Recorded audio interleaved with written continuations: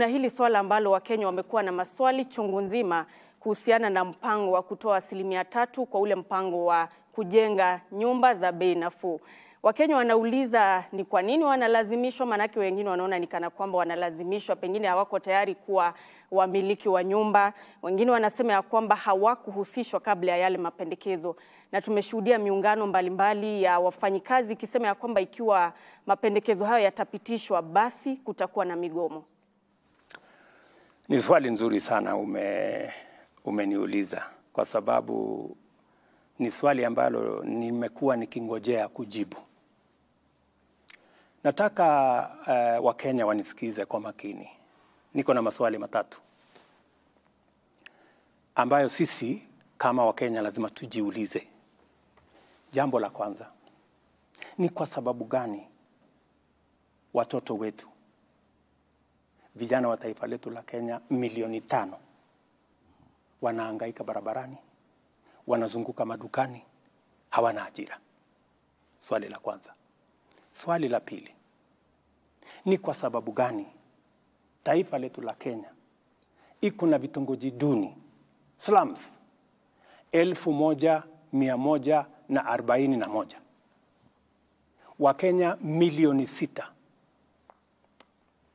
ndugu yangu Abdi, milioni sita wanaishi katika vitongoji duni, hakuna maji, hakuna choo, hakuna barabara. Kenya yetu hii milioni sita. Why? Jambo la tatu ni kwa sababu gani katika taifa eh, letu la Kenya hakuna nyumba mwananchi wa kawaida anaweza kununua? Nyumba yote ile iko beijini sana, milioni tano mortgage elfu, elfu sitini. Wakenya wangapi wanaweza kulipa mortgage ya elfu sitini? Jambo la nne, wale watu ambao wanafanya kazi, sisi tunaolipwa na ushuru ya Wakenya ni watu elfu mia saba kuanzia rais mpaka eh, kupitia kwa mawaziri, kupitia kwa madaktari, kupitia kwa walimu, kupitia kwa wauguzi mpaka wale wa chini messengers na wale wengine 700,000. yeah. tunalipwa na ushuru ya hao Wakenya wote. Imefika wakati rafiki yangu tufikirie ni vipi sisi tulio na bahati ya kufanya kazi na sio kwamba ati mimi kwa sababu ni rais leo ati mimi ni bora kuliko wengine, ama wewe kwa sababu ni mwalimu ati wewe ni bora kuliko wale wengine.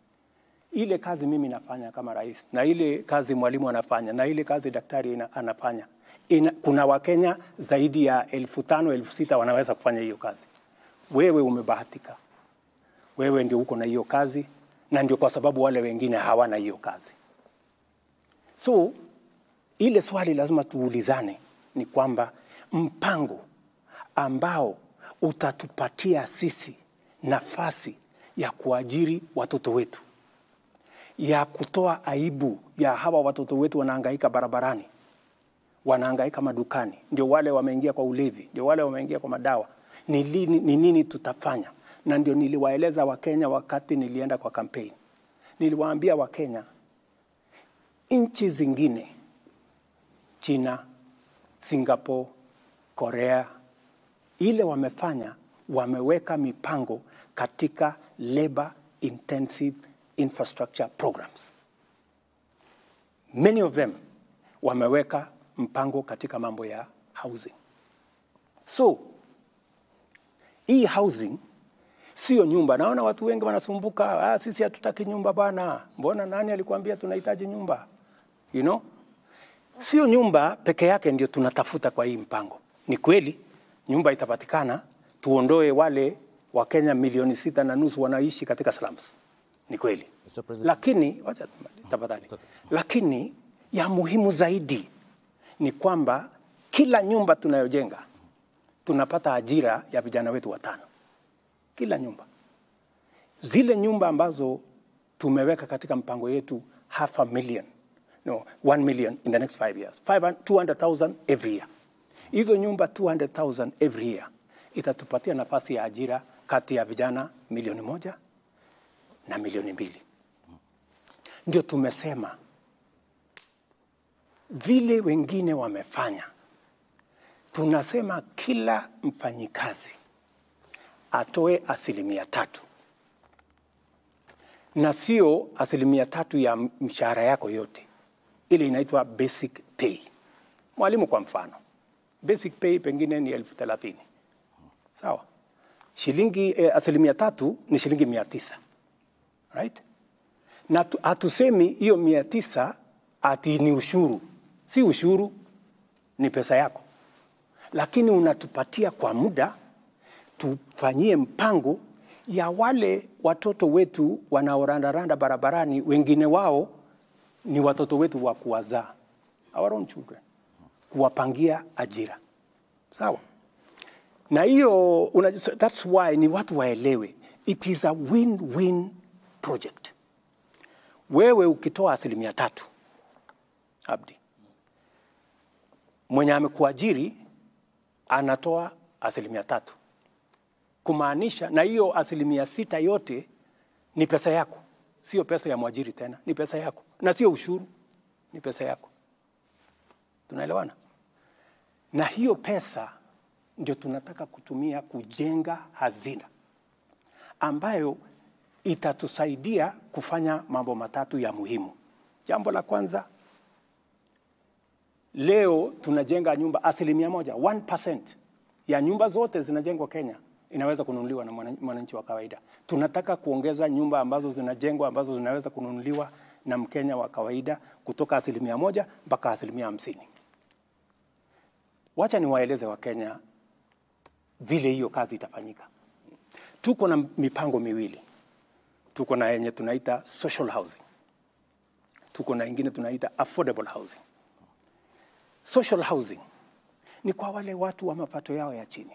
Tunasema yule mtu ambaye anaishi Kibira, yule mtu ambaye anaishi Madhare, yule mtu ambaye anaishi Kisumu Kondele, yule mtu ambaye anaishi hapo Kakamega ama anaishi Murang'a ama anaishi Kiambu, ambaye analipa rent kwa ile nyumba ambayo haina choo, haina e, taa, haina maji, shilingi elfu mbili na mia tano huyo mtu na elfu mbili na mia tano yake tunataka kumjengea nyumba, atalipa shilingi elfu mbili na mia tano kwa nyumba ambayo iko na maji, nyumba ambayo iko na eh, facilities, iko na kitchen, iko na iko na iko na choo na analipa shilingi elfu mbili na mia tano. Wakenya wata, watataka kuniuliza eh, Bwana Hasla, hiyo nyumba iko wapi?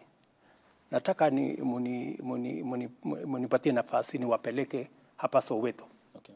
Kibra, Soweto A. Pale kuna kiongozi ya wamama uh, kuna kiongozi ya hiyo Soweto A anaitwa Mama Shiro. Alikuwa anaishi kwa nyumba haina choo, haina maji.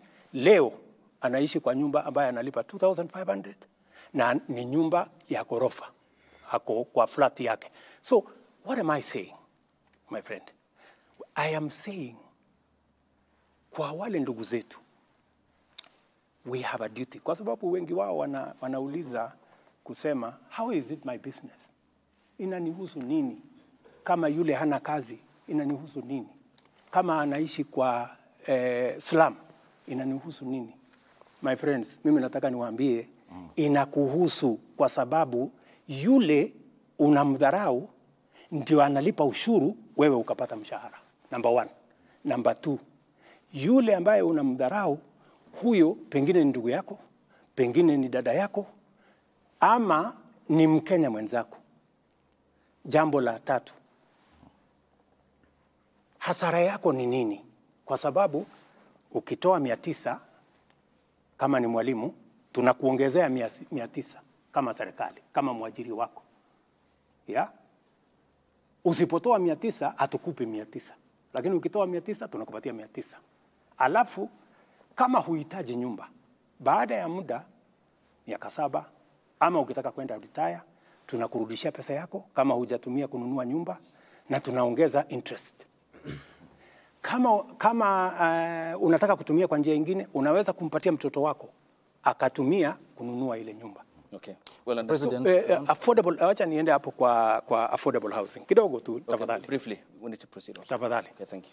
kwa sababu unajua hii maswali ni mingi. Yeah. Watu wengi wanasema lakini bwana eh, hii sasa hata kama ni mia tisa si nitachukua miaka sitini ndio niweze kununua nyumba. That is not the case. Hii pesa ambayo unatoa sio ya wewe kununua nyumba.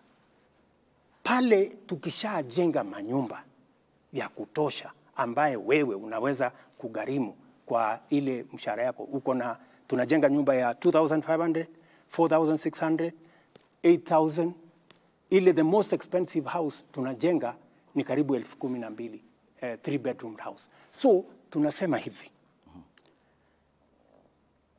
ile pesa ambayo tunaweka pamoja ni kutupatia uwezo ya kuleverage kwa hiyo pesa. Kama ni bilioni tano, tunaweza kuitengeneza kiuchumi iwe mara tano mara saba, tuweze kuitumia kujenga manyumba. Hii manyumba itatusaidia kwa wale wanaishi katika vitongoji na hata wale wengine wote ambao wanalipa rent. Badala ya kulipa rent, wewe utaingia kwa eh, nyumba ambayo badala ya kulipa rent utalipa mortgage. Okay, Mr. President. Unaelewana? Yep. Wacha ni, wacha nimalizie tu kidogo. Huyu jamaa anasema sasa, eh, mimi nalipa rent saa hii ya elfu tano na anakatwa eh, mia tisa itakuwaje? Kama unaweza kulipa rent eh, elfu tano mbona usilipe mortgage mia tano ndio nyumba ikuwe yako? Iko dhambi gani? na katika hiyo harakati number one, umesaidia nchi yako, umesaidia wale jamaa hawana kazi, lakini wanatusaidia kulipa ushuru, ndio mshahara yetu. Mimi kama rais, na wewe kama daktari, na wewe kama mwalimu, na wewe kama mjumbe, na wewe kama MCA ilipwe.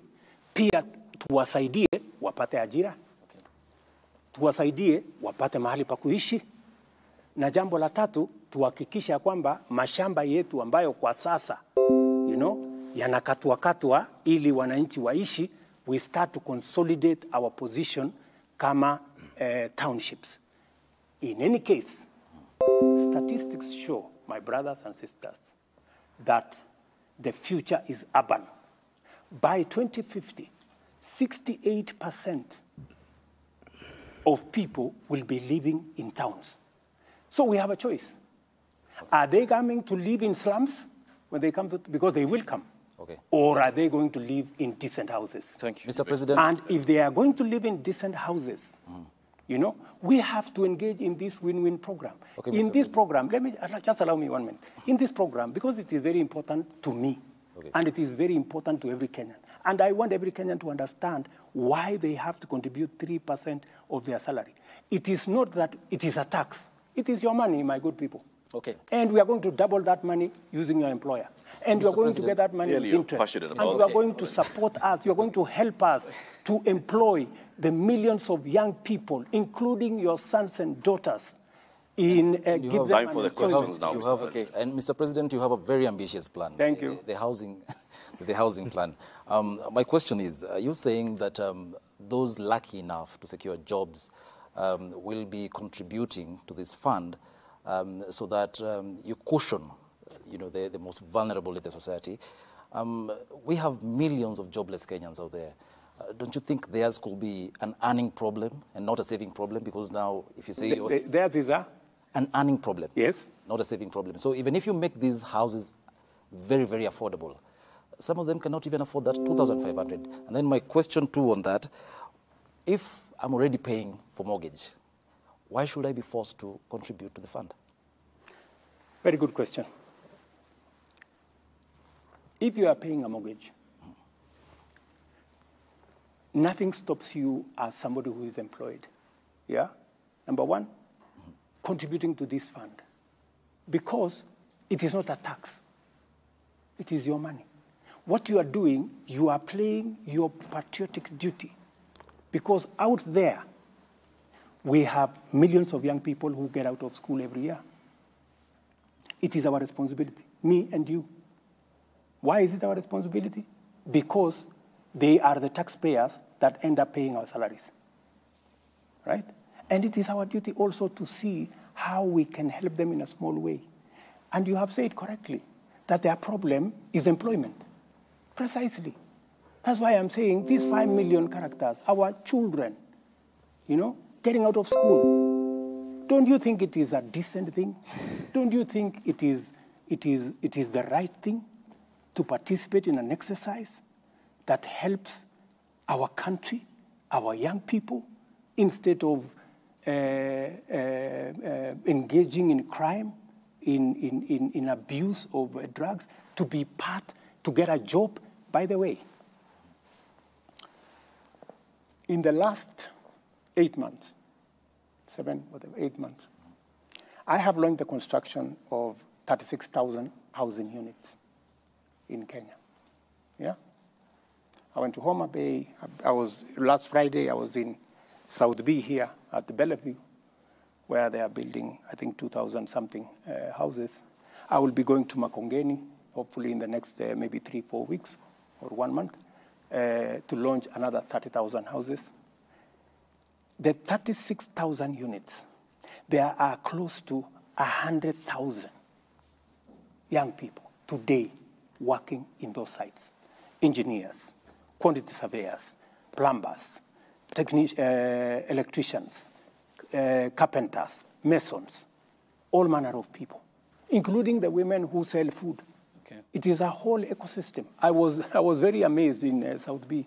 Uh, a group of women were saying, sisi tunaitwa protein, sisi ndio tutakuwa tunauza chakula hapa.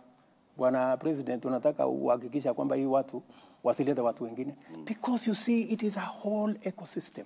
And I want to ask my countrymen and women, those of us who are employed, please, let us not let us not hold in contempt Okay. those who don't have jobs or say- those who are not. You say it's not a tax. It is not a tax. What is it? It is a contribution you are making because if it was a tax, you know, tax, it goes one way. Hmm. You never get it. This is not a tax. Okay, why, why, Because why, you, you, you, it, is not, it is your money. okay, why then, Mr. President, if it's not a tax, if that bill hypothetically say is passed by the National Assembly, it's legally binding. Yeah, of course. It's not a tax, you said. It is not a tax. Why would I contribute? And if I don't want? That's what the law says.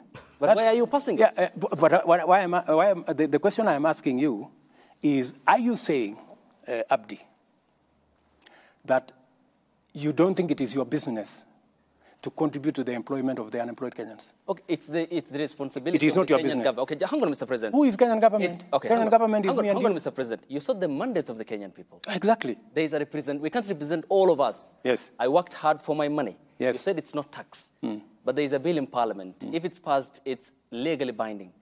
Why would I make a contribution for others to succeed? it's your business as the government. You are the head of state. You have the responsibility. You have the mandate. And That's that, and that, and that is why, that's why the Constitution gives me the power to tax. But it's you who is leading And the that's government. why the, the Constitution uh, gives me the power to sign mush- things mush- into law. But, but, okay. You know? Um, So I am simply doing my job. Mr. President, let's get You the specifics very clear. Yeah. It's a very simple issue. Yes. You are saying it's not a tax. Mm. It is not a tax. That's the commander in chief saying. Yes, it okay. is not a tax. Hang on, let's go step by step. Yes, There's a bill that will come before Parliament. absolutely. Hypothetically, let's say it's passed. Mm. If it's not a tax, why would I contribute? Because it is the law. The law, Wait, Mr. President. Once it is passed, it is the law. Okay, meaning, meaning then it's a tax, and you understand that it's a tax. Yeah, one, once it is passed, it is the law and you have to contribute. Let me ask you. One rider, Mr. President. Let me as ask you. As No, you no, asked just her. allow me. Just Let me ask you, Abdi. Do you know that today you contribute 6% of your salary to NSSF? Correct. Why? It is not a tax. Mr. Okay, President. hang, hang on, hang on. On that, Mr. Mr. President, President. Okay. It's the same thing. Okay, hang because on, it is Mr. the law. The Okay, issue, though, okay. Summarize. The issue, though. is the NHIF question, Mr. President. Yes. Which you have passionately talked about. I am very passionate about Which is still again because you have picked up, you have cherry picked on the NSSF, mm-hmm. but there's the NHIF component which I still pay for. Yes. You pay for as well. Yes. But then, what's the point of contributing to the NHIF program? Yet I go to the hospital and I only get paid for the bed. Precisely. That is why I want to make NHIF work. You know how I'm going? I'm working on it, by the way.